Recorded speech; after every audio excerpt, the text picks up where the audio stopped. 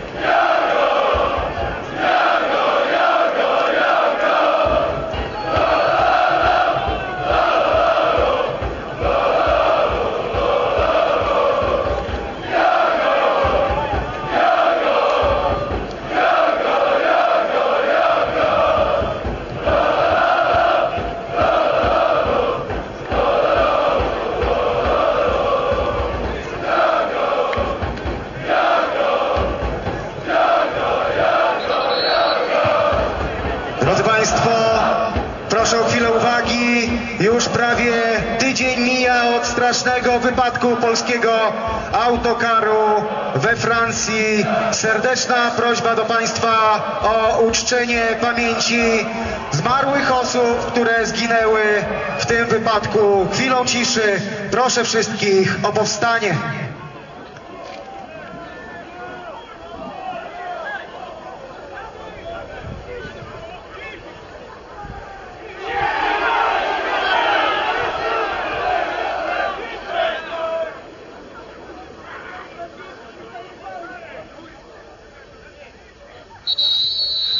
Dziękuję Państwu bardzo.